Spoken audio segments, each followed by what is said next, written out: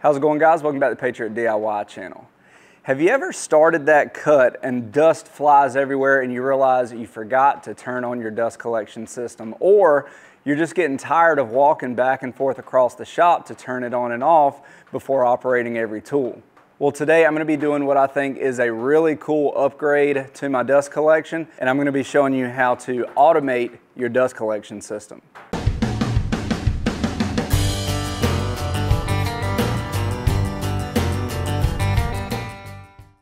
All right guys, now I've done several videos on this channel about dust collection. Everything from upgrading my Harbor Freight dust collector to running the pipe around the shop to all the different tools and a few other upgrades as well. But what we're talking about today, I think is gonna be one of the coolest. So up until now, I've just had a button mounted on the wall right beside my dust collector. So every time I want to use a tool, I have to walk over here, turn it on, walk back, make my cuts, and then once I'm done, I walk back over and turn it off. Now that's not the biggest issue, especially in a small shop setting, but there's also been several times where I forget to do that. I start cutting and dust flies everywhere and it completely defeats the purpose of even having a dust collection system. Or I get busy, forget to turn it off, and I have that loud humming in the background while I'm working. And honestly, the time it takes to walk back and forth to that before operating every tool does add up and ultimately makes it take longer to finish your projects. Now that's less of an issue, but it is something to consider. So what I've decided to do is to automate my dust collection system. What that means is I no longer have to go over and turn it on and off. When I turn the tool on, the dust collector comes on by itself. When I turn the tool off, the dust collector goes off by itself. Now there are several products on the market that can help accomplish that, but what I've decided to go with is the iVac Pro system paired with the iVac Tool Plus. So I'm gonna get in here and talk about how this system works and how to set it up. But first guys, if you haven't done it yet, make sure you hit that subscribe button down below, hit that notification bell, and give me a thumbs up. Now essentially the way this works, it not only gives you a wall mounted on off button just like what I've already using, but also essentially the way this is gonna work is we're gonna attach the Tool Plus sensor to the power cord of whatever tool we want to activate the dust collection. And this is gonna send out an RF signal that is then received by the wall mounted box which the dust collector is plugged into. And so as soon as the Tool Plus senses that the tool has been turned on, it's gonna send that signal and tell this box to turn on the dust collection automatically. Then when you turn the tool off, it's gonna send another signal that tells the dust collector to turn off and it does also have delay times that you can program into this. So if you want the dust collector to run another 5, 10, 15 seconds after you turn the tool off just to clear out those ducts and stuff, you can program that into here. So this is gonna be really cool. I have several tools around my shop that I'm gonna be setting this up with. I have three of the Tool Plus sensors here. And to start with, I'm gonna be attaching this to my table saw, my bandsaw, and the new CNC machine. So now that you have a general idea of how this is gonna work, let's get in here and take a look at all the components. All right guys, so this is the iVac Pro automated dust control system. And this here is really the heart of the system. So the way this works is you plug your dust collector into this outlet here, and then you plug the box into your power source. And this essentially becomes the on-off control for your dust collector. Now it's very basic here on the front. You just have your on-off switch here. So you can operate your dust collector straight from here, turning it on and off, just like the switch that I've been using for years now. But you also notice that it has an auto setting here. And that is for use with either a dust control remote or the iVac Tool Plus sensor. Now this component is really what makes this system automatic. The way this works is you clamp this on the power cord of your tool and it is going to sense the on or off state that the tool is in. And this is going to be sending a signal to our Pro system. So as soon as you turn that tool on, this is going to sense it and it's going to tell our iVac Pro system to also turn on the dust collector. Now a couple cool features here. There is about a one second delay from the time you turn the tool on before the dust collector will actually turn on. Now the reason for that is so that you don't have two big electrical surges happening at the same time that could potentially trip a circuit breaker or something. So the tool comes on and then about a second, second and a half later, the dust collector comes on.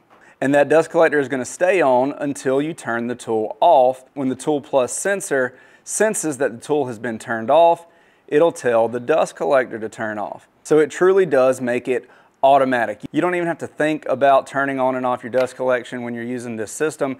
As soon as you start to use the tool, it's gonna do everything for you automatically. Now something else I think is really cool about this is you notice this also has the on, off, and auto button on it. So anywhere that this is mounted, it gives you another on off button for your dust collector. So let's say you have this system set up for a few tools, but not every tool in your shop is using this system. So there are still times when you have to manually turn your dust collector on and off. You can still do that from either where the IVAC Pro system is mounted or anywhere that you have a Tool Plus mounted. You can turn that dust collector on and off.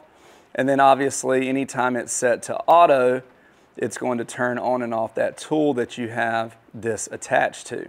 Now this does also require a power source. So it has a pretty long cable here with a USB and it does come with the little USB adapter here. So what I found is the easiest way to use this is to mount this on the power cord pretty close to where it plugs into the wall. That way I can use that same outlet to plug in the Tool Plus. Now the other cool thing about the IVAC Pro system is that this could be used with up to eight different tools. I'm going to give you a little example here on the back of the box of how you can have this set up. You can see you can have that IVAC tool sensor attached to several different tools in your shop and all of them are capable of turning on the dust collector. You can even be operating multiple tools at one time and the dust collector will stay on until the last tool is turned off.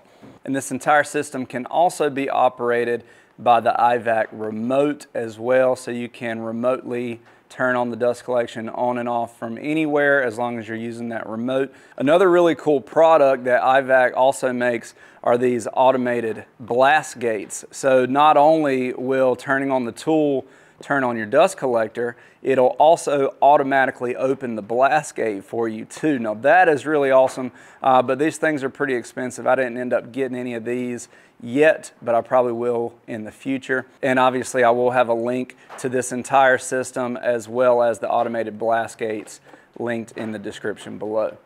Now because this can be used with several different tools and even several different IVAC Pro switches in the same shop, it does require a little bit of programming, but don't worry, it's very simple. You just have this little door here on the back. We're gonna remove that. You can see you have this little programming switch here. We have six different positions on here. And the instructions that come along with this do a very good job of showing you how to set this up so that your Tool Plus sensor communicates with your switch. But just to give you a quick rundown, so numbers one and two here are gonna identify the switch. Now, like I said, you can have multiple switches in one shop. Because you don't want those signals getting crossed, uh, you're going to indicate that with these first two positions. And then five and six are going to program your delay time. So like I said, when the tool turns off, you can program a delay into this so that the uh, dust collector will keep running for a certain period of time after you turn the tool off just to help clear out those dust collection lines. And it has a little diagram here that clearly shows you how to set that. And so you can set that delay to 0, 5, 15, or 45 seconds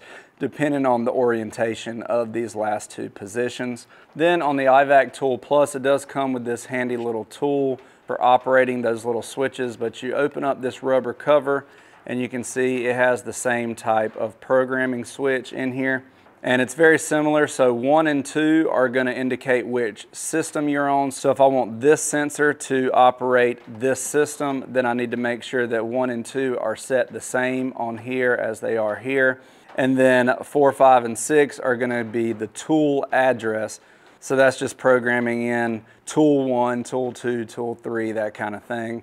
Now I know that was just kind of a brief rundown on the programming, but like I said, the instructions that come along with this do a very good job of explaining how to program all this. So there's really no need for me to go into full detail here in this video.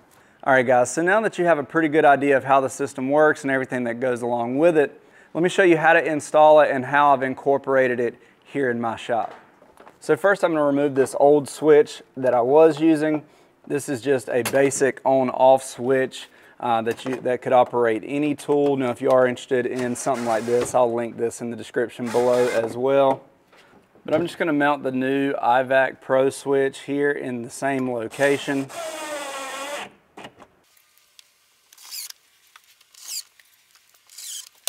Then I'm gonna run the power cord for the switch here to the nearest outlet.